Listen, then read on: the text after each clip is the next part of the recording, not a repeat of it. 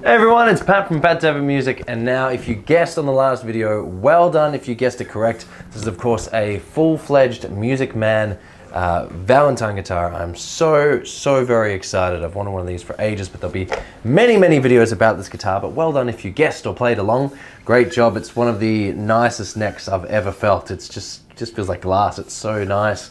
Okay, okay, all right, focus Pat. So what this video is all about is I'm so excited. I'm heading into the studio for the next couple of days and my EP or my first album, the uh, little snippets you hear at the end of every video when the sort of videos sort of roll up and the subscribe button, all that sort of stuff.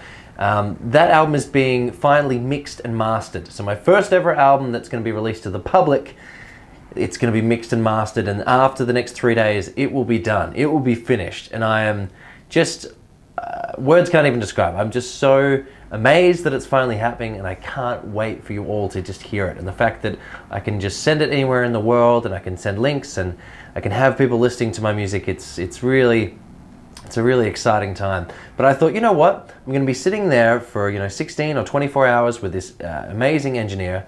So I thought, well, I've got questions for him, but maybe you've got questions too. So what are your questions that I can ask, maybe even interview, or at least I'll write down his answers if he doesn't feel comfortable being on video, but at least, you know, we will get the answers. What are some questions that you have with anything to do with recording? Whether it's learning how to record yourself, can you record yourself um, and make an album? Do you need a full studio anymore? Um, can you learn to mix and master? What sort of gear do you need? Um, how do you get better at recording? How to lock in with a metronome? How to meet people to record? Any question you can possibly think of. This is a great opportunity because here's someone that's devoted their entire life to, to mixing and mastering so they're going to have a wealth of knowledge far greater than my own in mixing and mastering. I have, you know, none. That's why I'm going to him. So if you've got any questions at all, leave a comment below and I'll, all the comments in the next 24 hours on that video, I will then, um, I'll ask him and whether or not he, yeah, whether or not he wants to do the interview or he at least will tell me and then I'll write them down. But yeah, overall just blown away with this guitar. So this is the sort of single coil sound.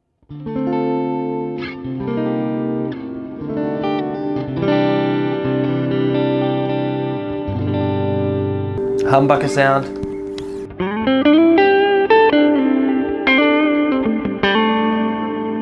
With a little bit of drive maybe, bit of distortion.